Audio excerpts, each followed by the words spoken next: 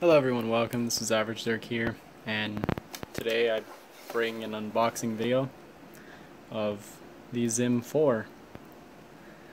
Uh, I'm gonna make this quick and short, just make this about opening this, um, how the fuck do I open it? Oh.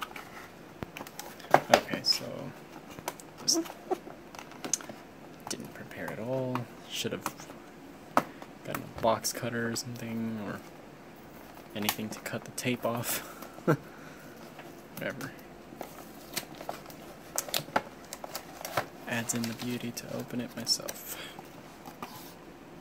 Alright, so tension, iPhone, iPad. Uh, I don't I don't like iOS.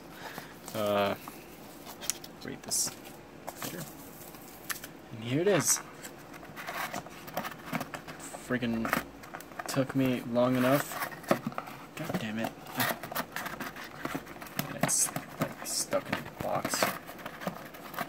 Held very tightly. Okay. Yeah. Here it is. It is very small. I uh compare it to the PS4 controller.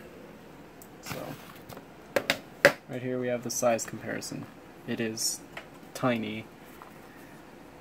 Uh, in case someone doesn't know what this is, it allows me to use this and this, excuse the mouse pad, and this on the PS4. Right up there. So, my controllers have begun messing up and I decided that I may as well just pay for one of these because I, I am a lot, I'm very comfortable with keyboard and mouse, so yeah. Uh, I think that's about it for this. Just a quick video, just me opening it. I'm just open up this too. Oh, perfect. I needed a charging cable. I have, I only had my Samsung charger. Alright, well, yeah. That's that for this, I guess. Nothing really comes in the box. Very expensive. I'll leave a link in the description to where you can get a hold of one. They're pricey, so don't expect like a $20 price or something. Alright, thanks for watching. This has been Average Dirk, and leave a like, subscribe, goodbye.